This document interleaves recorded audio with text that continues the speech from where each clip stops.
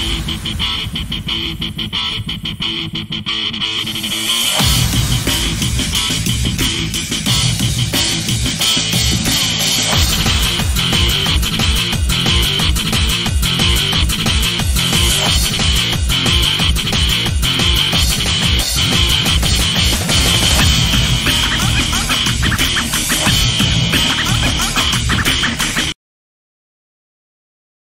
Pasa, gente? ¿Cómo están? Aquí estamos con un nuevo video reacción. Eh, Pepper Mago acaba de subir la segunda parte de ese video que reaccionamos hace tiempo de 5 héroes de videojuegos que sufrieron un destino peor que la muerte.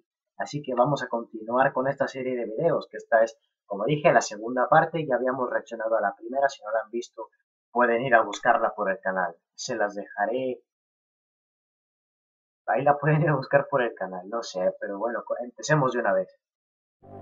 En la enorme mayoría de casos, nuestros héroes de videojuegos culminan sus aventuras muy felices y contentos. Algunos se quedan con su princesa luego de haberla rescatado, a otros los premian con fiestas enormes y deliciosos banquetes, y también están aquellos que luego de muchísimo esfuerzo logran reunirse con sus seres queridos. Pero hoy vamos a hablar de la otra cara de la moneda, de aquellos héroes que lamentablemente terminaron sufriendo destinos verdaderamente horripilantes. Como diría el bueno de Raiden, hay destinos peores que la muerte. Ten en cuenta que este video estará lleno de spoilers, así que míralo con precaución. ¿Te encuentras listo para descubrir la historia de 5 héroes de videojuegos que sufrieron destinos peores que la muerte? Pues entonces acompáñame. ¡Hey! Comencemos. Puesto 5 con esta segunda parte. Si te gustan los videojuegos basados en superhéroes, entonces no te puedes equivocar con los títulos de Injustice. Esta saga nos oh. transporta a un universo alternativo donde Superman, luego de ser engañado por el Joker, asesina a su amada Luisa Lane, al hijo que llevaba en su vientre y de pasadita detona una bomba nuclear en la ciudad de Metrópolis matando a millones de personas en el proceso. Como era de esperarse, esta experiencia lo transformó por completo. Pasó de ser un superhéroe compasivo y justo a un tirano lleno de ira que solo quería descargar toda la rabia que llevaba dentro. Lo primero que hizo después de la tragedia fue vengarse del rey payaso matándolo con sus propias manos, y acto seguido sometió al mundo a un régimen dictatorial donde él era el amo y señor absoluto. Si alguien no le hacía caso o se atrevía a cuestionarlo, ese alguien sería castigado. Por suerte para la humanidad, que ahora vivía aterrada por culpa del hombre de acero, Batman se revela y forma un grupo de resistencia con el objetivo de frenar al tirano. Es así como el murciélago termina convocando a algunos héroes de una dimensión paralela para que lo ayuden. Y finalmente es el Superman de este otro universo quien termina derrotando y encarcelando a su contraparte malvada. En la secuela, el villano Brainiac aparece con intenciones de conquistar al planeta, y como Batman y sus aliados no podían detenerlo solos, liberan al Superman malvado para que los ayude. Luego de mil y un combates épicos entre héroes y villanos, el murciélago y el hombre de acero se infiltran en la nave de Brainiac, y contra todo pronóstico, consiguen derrotarlo. Aquí se vuelven a dividir en dos bandos. Batman y sus aliados querían mantener con vida al villano para recuperar las ciudades que éste había capturado usando sus poderes, mientras que Superman y los suyos querían matarlo y usar su nave para reinstaurar su régimen dictatorial en el mundo. Como era de esperarse, ambos grupos terminan enfrentándose entre sí, y finalmente el Caballero de la Noche y el Superhombre se enfrascan en un combate que definiría el futuro de la humanidad.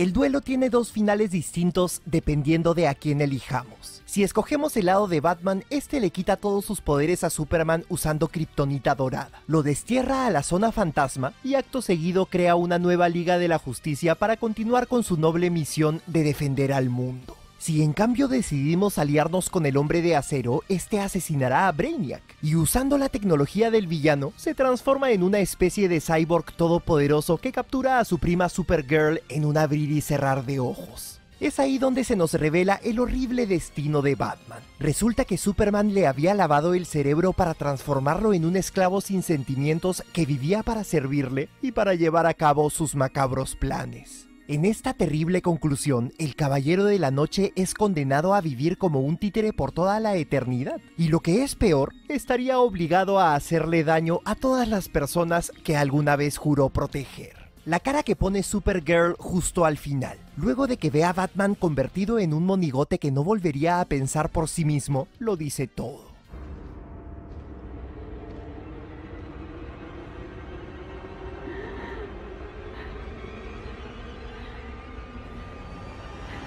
Madre mía. Yo no he jugado en Justice Puesto 4. Me gustaría. La historia de Mono, el protagonista de Little Nightmares 2, es tan trágica como terrorífica. Todo empieza cuando este tímido niño, que siempre lleva una bolsa de papel sobre la cabeza, aparece en medio de un bosque luego de escapar de dentro de un televisor. El pequeñín se pone a investigar y rápidamente llega a una cabaña donde termina rescatando a la protagonista del primer juego Six. La niña no confiaba en él así que sale corriendo, pero el muchacho la persigue y muy pronto empiezan a trabajar en equipo. Juntos consiguen eliminar a un cazador que los había estado persiguiendo sin descanso por el bosque. Se infiltran en una escuela donde una profesora de cuello larguísimo habitaba y donde los estudiantes eran unos muñequitos de porcelana increíblemente agresivos. Llegan a un hospital donde una criatura grotesca experimentaba con los pobres individuos que caían en sus manos y finalmente alcanzan un complejo de apartamentos donde unas personas con el rostro desfigurado andaban muy pendientes de una misteriosa señal que salía de los televisores. Es ahí donde Mono, luego de adentrarse en uno de estos aparatos, termina abriendo una puerta que había visto en varias ocasiones durante sus aventuras. Del otro lado lo esperaba un hombre muy alto y delgado, quien no pierde el tiempo y empieza a perseguirlo para hacerle sabe Dios qué. El protagonista se esconde debajo de una cama y consigue escapar del monstruo, pero Six no corre la misma suerte y termina capturada. Un poco más adelante, Mono se topa con el monstruo de sombrero otra vez, y cuando todo parecía perdido, el héroe se quita la bolsa de papel de la cabeza y usa sus poderes para derrotar al villano. Con la bestia aniquilada, el pequeñín se adentra en la torre que estaba emitiendo la señal misteriosa, y luego de recorrer una serie de pasillos y escaleras que parecían no estar regidas por las leyes de la gravedad, Mono se encuentra con Six. Su amiga se había transformado en una enorme bestia de brazos alargados y torcidos, pero el héroe no planeaba dejarla en ese estado, así que agarra un hacha y la devuelve a la normalidad luego de destruir la caja de música que llevaba consigo. En ese momento las paredes se transforman en protuberancias carnosas que empiezan a perseguirlos, haciendo que el par se ponga a correr como nunca antes lo habían hecho en su vida. Lamentablemente para Mono, su amiga lo traiciona arrojándolo al vacío, y el pequeñín, sin chance de escapar, encuentra una silla y se sienta resignado y con el corazón hecho trizas. Los años pasan y lo vemos crecer poco a poco hasta que finalmente, en un giro completamente inesperado, se nos revela que el niño era en realidad el hombre del sombrero. Resulta que el pobre de mono estaba atrapado en un ciclo sin fin, condenado a repetir la misma historia de traición y dolor una y otra y otra y otra vez. Lo único que su yo del futuro quería era detenerlo para romper el ciclo infernal en el que estaba atrapado, pero como de seguro ya había ocurrido tantas otras veces en ciclos anteriores, fue incapaz de hacerlo. Ser traicionado por la persona en la que más confías para luego pasar un sinnúmero de años atrapado en un lugar de pesadilla ya es un destino terrible. Pero ¿se imaginan estar condenados a repetir esta historia por toda la eternidad? Wow. Puesto 3. A simple vista, The Binding of Isaac pareciera narrar una historia sencilla, pero lo cierto es que se puede interpretar de mil y un maneras. En la introducción nos cuentan que Isaac y su madre vivían de lo más felices en una casita en las montañas. El pequeñín tenía una imaginación muy activa, por lo que pasaba sus días jugando y dibujando, mientras que su madre, que era muy creyente, paraba pegada a la televisión viendo programas religiosos. Un fatídico día todo cambió, y es que la mujer empezó a escuchar una voz que le decía que su hijo era un pecador y que debía de ser castigado. La madre no se la pensó dos veces y lo encerró en su cuarto sin dudar, no sin antes quitarle todos sus juguetes y dejarlo completamente desnudo. La voz, sin embargo, quería más. Para demostrar que le era fiel, la mamá agarró un cuchillo de cocina y se metió en la habitación de su hijo con todas las intenciones de matar. Pero por suerte el pequeñín encontró una trampilla debajo de su alfombra y se metió dentro salvando así su vida. Es así como empiezan las terroríficas aventuras de Isaac, que lo llevarían a explorar mazmorras llenas de cuartos y laberintos mientras luchaba contra todo tipo de monstruosidades usando sus lágrimas. Como ya les mencioné, la historia de The Binding of Isaac puede interpretarse de varias maneras, pero lo que sí está confirmado gracias a algunos de los finales y a un tweet del creador del juego es que el protagonista está muerto, así como lo oyes. Sabemos que en un inicio Isaac vivía muy feliz al lado de sus padres y que tenía un vínculo muy fuerte y especial con su papá. Lamentablemente este los abandonó, lo que hizo que la mamá se refugiara en la religión y empezara a maltratar a su pobre hijo. Isaac vivía aterrado de su madre, así que empezó a refugiarse dentro del enorme baúl que tenía en su habitación, pero un funesto día se quedó atrapado y terminó muriendo por falta de oxígeno. Los eventos del juego que lo llevan a luchar contra las mil y una aberraciones que habitan debajo de su casa ocurrirían dentro de su cabeza. Se trataría de sus últimos chispazos de imaginación antes de morir. Existe otra teoría muy interesante que plantea que Isaac habría quedado atrapado en una especie de purgatorio luego de su muerte, un lugar de pesadilla donde estaría condenado a enfrentarse contra todo tipo de monstruosidades hasta el fin de los tiempos. Sea cual sea la verdad, lo cierto es que este pequeño héroe no merecía tanto sufrimiento. Puesto 2.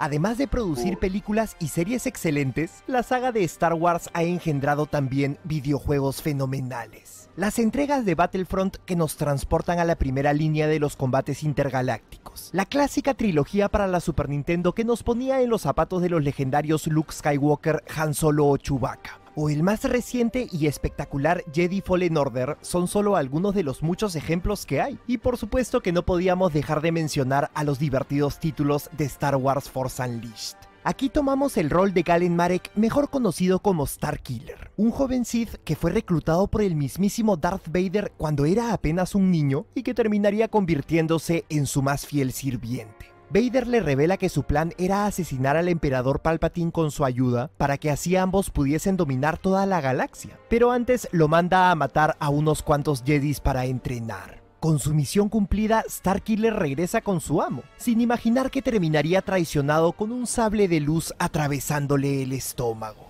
Para demostrarle su lealtad al emperador, Darth Vader arroja a su aprendiz fuera de la nave, aunque en secreto manda a unos robots para que recuperen su cuerpo y lo salven, ya que aún tenía una misión muy importante para él. El padre de Luke le informa que sus planes para derrocar a Palpatine seguían intactos. Lo que necesitaban ahora era una gran distracción, así que le encarga que viaje a través de la galaxia para formar un ejército de rebeldes que estuviesen dispuestos a luchar contra el imperio. Contra todo pronóstico, Starkiller vuelve a confiar en su maestro, y luego de muchísimo esfuerzo y de poner en riesgo su vida en más de una ocasión, logra su propósito. Como era de esperarse, Vader lo vuelve a traicionar, y cuando estaba por darle el golpe de gracia, un robot que lo había acompañado durante sus viajes se sacrifica para salvarlo.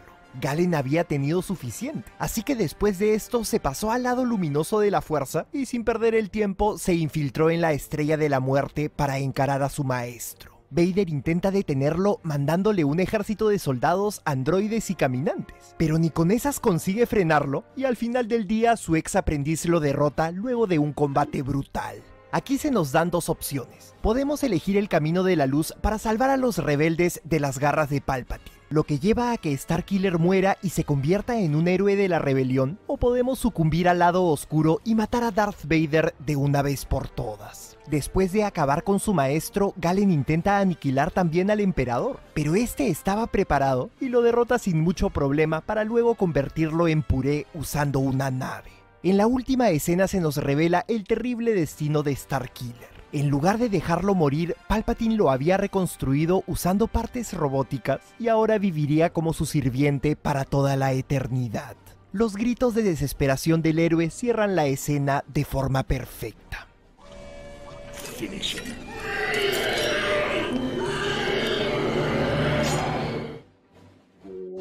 Puesto 1. Madre mía. Si algo tenemos que reconocerle a Capcom es que nunca han tenido miedo de innovar ni de probar cosas diferentes cuando de Mega Man se trata. Es cierto que la franquicia se ganó nuestros corazones gracias a esos plataformeros de acción donde el Mega Man clásico 0 y X debían de derrotar a Wily y a Sigma una y otra vez, pero no pasó mucho tiempo para que la saga se pusiera a explorar géneros muy pero que muy variados. Aunque no lo creas, Mega Man tiene un título de carreras, otro de pinball, un juego de fútbol para la Super Nintendo, una entrega para la Nintendo NES que está inspirada en Monopolio, una aventura para celulares en la que el bombardero azul se coloca un traje de astronauta astronauta para rescatar robotitos en el espacio exterior, un par de títulos de peleas que salieron para arcades o un juego de tenis para móviles solo por mencionar unos cuantos. Lo cierto es que este robotito azul ha hecho incluso más cosas que Mario. Uno de los spin-offs más interesantes y uno de los más queridos también es Mega Man Legends. Esta saga nos pone en las botas de Volnat, un robot de corazón noble que se dedica a cazar tesoros al lado de la dulce rol del sabio profesor Casket y del monito Data. Por azares del destino, el grupo termina en Catelux, una isla llena de misterios que según las leyendas escondía un tesoro de invaluable valor. Durante sus aventuras, que no son pocas, el héroe se enfrenta con los Bond, una familia de piratas que quería robarse el tesoro. Luego de mil y un periplos, Volnat consigue entrar en las ruinas donde se suponía aguardaba el tesoro, pero en lugar de eso termina despertando a un robot llamado Megaman Juno que buscaba asesinar a todos los habitantes de la isla. Ahí se entera de que la humanidad había quedado extinta hace miles de años y que todos los humanos del mundo, y por ende también los de la isla, eran seres artificiales conocidos como Carbon. Además, el robot de melena violeta le dice que lo conocía de antes y que su verdadero nombre era Trigger. Todo parecía indicar que el héroe había perdido la memoria. Por suerte, Volnat consigue detener los planes del villano y salva a todos los habitantes de la isla. Pero su encuentro con Juno lo había dejado con muchas dudas sobre su pasado y no descansaría hasta encontrar una respuesta. En Mega Man Legends 2 la historia se vuelve incluso más compleja y enredada, así que será mejor que prestes mucha atención. Aquí se nos revela que miles de años en el pasado, Volnat vivió en Elysium, una colonia espacial que orbitaba alrededor de la Tierra, donde los últimos humanos habitaban.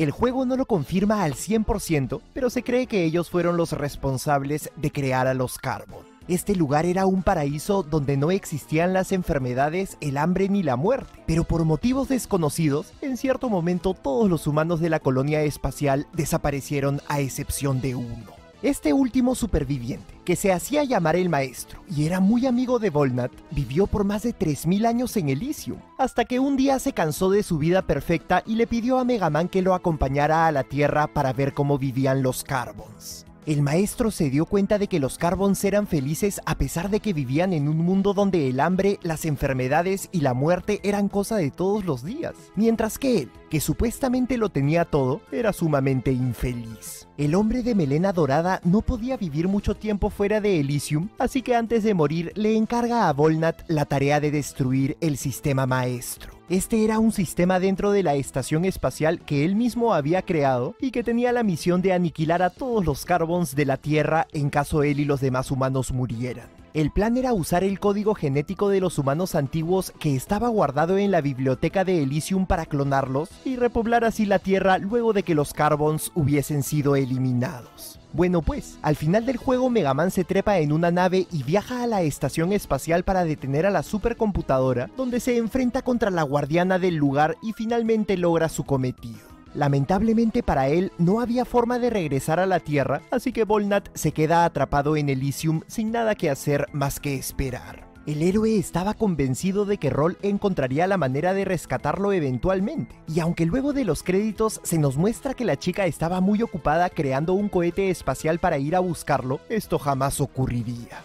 Como de seguro ya sabes, Capcom canceló Mega Man Legends 3 donde Volnat iba a ser rescatado, y de esa manera lo condenaron a vivir en Elysium hasta el fin de los tiempos.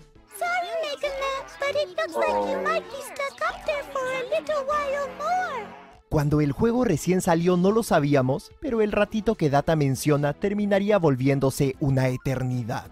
Ya hemos hecho dos videos de héroes de videojuegos que sufrieron destinos peores que la muerte, así que creo que ahora le toca el turno a los villanos. Si quieren que hagamos un top de villanos que sufrieron destinos peores que la muerte, entonces apoyen a este video con sus pulgares arriba y sus comentarios. Si llegamos a los 50.000 likes, me pondré a trabajar en él enseguida. Muchas gracias por ver este video. Pepe el Mago se despide y nos vemos en un próximo episodio. Wow. Menuda historia más enrevesada. Menos mal que yo ya estoy acostumbrado a este tipo de historias, pero en fin. Nos vemos por ahora y, y ya, y ya, hasta la próxima.